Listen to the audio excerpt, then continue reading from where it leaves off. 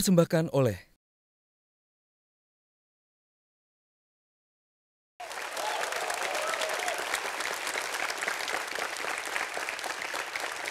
Jelang pemilu 2019, manuver politik tak terduga mulai bermunculan. Berbagai upaya dilakukan demi mendapatkan kursi di parlemen. Salah satunya hijrah ke partai tetangga.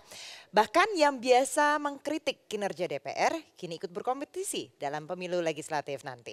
Setiap keputusan adalah hak politik meski harus menuai kritik. Lantas apa alasan dari para bakal calon legislatif ini berpindah halawan? Temukan jawabannya saya Andini Effendi Q&A mengungkap jawab semua tanya. Dan langsung saja kami undang untuk narasumber pada malam hari ini ada Nurul Komar, bakal calon legislatif dari Partai Nasdem.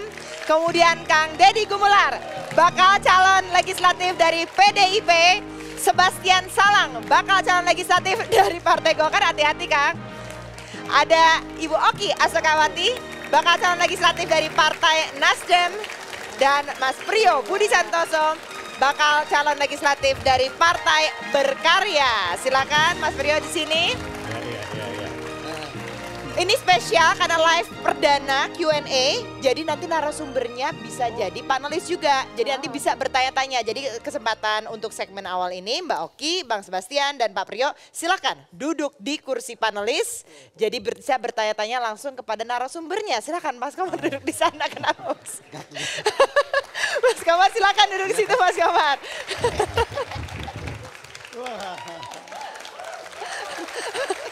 Silakan duduk nanti seperti biasa di Q&A. Mbak Dini, Q&A. Singkatan apa? Komar and Andini. Boleh, boleh, boleh. Boleh, boleh. Kita simak seperti biasa di Q&A ada panelis kita dan ini adalah panelis pada malam Ya Allah. hari ini. Ruhut Sitampul. Pakai kopea.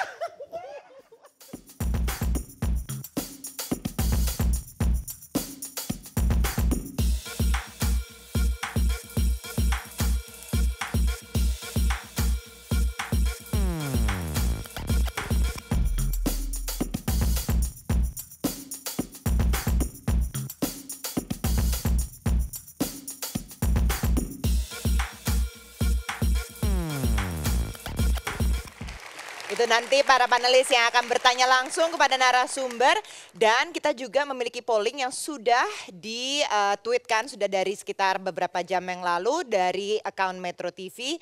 Mana dari narasumber kami pada malam hari ini yang tidak bakal lolos maju ke Senayan. Sudah ada pertanyaannya di sini. Pindah ke tetangga, Anda masih bisa untuk berpartisipasi. Cukup ke login ke Twitter, kemudian li- lihat di account Metro TV dan pilih siapa. Karena ini pilihannya ada dua tweet nih di sini. Tweet yang pertama ini ada Kang Deddy Gumelar, Ibu Oki Asokawati dan juga Mas Priyo. Kemudian yang kedua ada Kang Ming Ing dan juga Haji Komar. Nah yang pertama ini kita akan bahas langsung. Kambing dua kali. Apa? Kambing dua kali. Ya di tweet yang pertama siapa tuh? Deddy Gumelar. Haha. Terus Oh dua kali ya dua berarti? kali. Nanti malah dipilih dua kali bahaya loh. Atau gini, Pak Devendi, saya ingin umumkan pada publik Indonesia bahwa kalau dulu mie itu tidak masuk dalam kertas suara. Sekarang sah dari keputusan pengadilan negeri Kota Bekasi bahwa nama saya itu bagus jadi Miing Gumelar itu sudah sah. Oke. Oh, iya, yang yang juga sah sebenarnya Jadi kita mengundang nama kita Miing itu bukan alias, sekarang menjadi nama lengkap. Oke, yang juga kita undang malam hari ini adalah Lulung Lunggana yang juga pindah ke eh, partai tetangga ini ada dari P3 pindah ke PAN cuman di, sudah diundang kita sudah sudah mengiyakan untuk hadir pada malam hari ini udah kedua kali nih Haji Lulung tapi nggak datang-datang juga ke Q&A di telepon nggak bisa-bisa Mungkin belum pasti bisa pindah ke partai lain juga mungkin. Itu padahal pasti bisa ya, ditanya-tanya juga ya Bang Iya, Ege Kalau belum pasti ya belum datang gitu. Ya. Nah yang pasti juga kita bisa tanya, ini kenapa alasannya? Kang Miing ini dulu terkenal bajunya merah, politisi PDIP. Kemudian kalau Haji Komar dulu Demokrat, tapi sekarang nggak nggak ganti-ganti ya, tetap biru, cuman ganti logonya aja gitu. Alasannya kenapa? Bang Ege silakan. Ya kalau saya langsung tertuju kepada Bang Komar dulu ya. Itu dari persoalan pindah kita maklum lah ya. Karena kan sudah punya pengalaman semua. Di DPR sudah. Maju calon bupati lewat. Maju calon wakil bupati nyes gitu ya. Sekarang mencoba kembali ke DPR, tapi melalui partai yang berbeda gitu ya. Ini lebih karena cinta DPR atau karena lebih ingin adu nasib saja ini sebetulnya? Saya merasa terhormat 10 tahun ada di Partai Di DPR, Demokrat ya.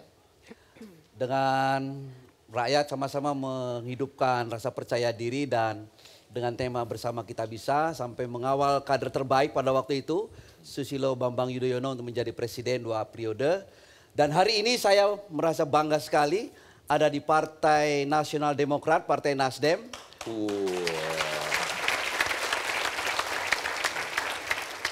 Karena menjadi bagian dari gerakan restorasi untuk Indonesia, gerakan perubahan. Saya senang itu, gerakan restorasi.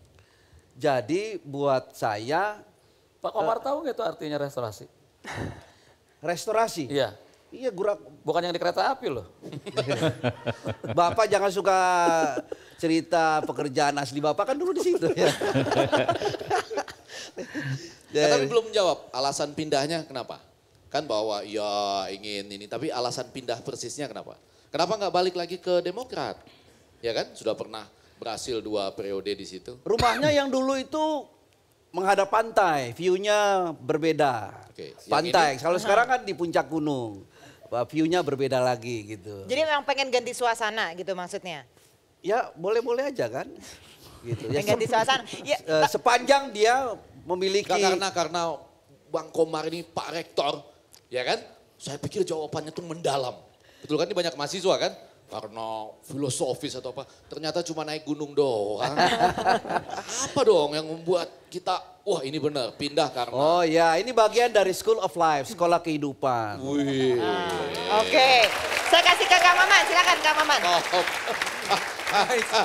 Silakan Kang Maman. Ke Kang Miing kalau gitu. Iya Kang Oman. Kang Miing itu pernah cerita gini, waktu dia belum jadi anggota DPR, orang-orang manggil dia Miing. Begitu jadi anggota DPR, Bapak Dedi Gumelar. Selesai jadi anggota DPR, kembali lagi dipanggil Miing. Mungkin karena alasan itu ya sekarang kemudian disahkan bahwa Miing itu bukan lagi alias, tapi bagian dari nama. Jadi walaupun nanti jadi anggota DPR atau tidak jadi anggota DPR, orang masih tetap bisa manggil Miing sama saya. Karena nama Miing itu sekarang sudah resmi menjadi nama lengkap saya gitu loh Pak Maman. Tapi memang sakit hati ya rasanya ya. Terpanggil Miing begitu selesai jadi anggota DPR, lagi-lagi dipanggil Miing, bukan Enggak Dedi. juga, justru Miing yang bisa mengangkat kehidupan saya sekarang itu. Dari dulu ya, dari Bagito ketika itu orang tidak tahu nama Miing, dia menjadi nama Miing. Dan saya kira persoalan nama itu hanya persoalan kesulitan masyarakat di bawah untuk mengenal saya. Karena nama saya di kertas suara tahun 2009 itu, tuh bagus Dedi Suwandi Gumelar. Itu tidak ada yang tahu nama itu. Ketika mereka ingin memilih Miing, nggak ada nama Miing di kertas itu. Maka sekarang saya berusaha bagaimana caranya Miing menjadi nama lengkap saya itu. Jadi insya Allah kalau besok nanti 2019 ini kita pemilu, nama saya sudah TB Dedi Miing Gumlar. Iya, Bang Lusius. Ya, eh, saat eh, Na- banyak namanya cukup artis panjang ya, Pak, ini. 2014 memilih Lahirnya di PAN, kereta api soalnya.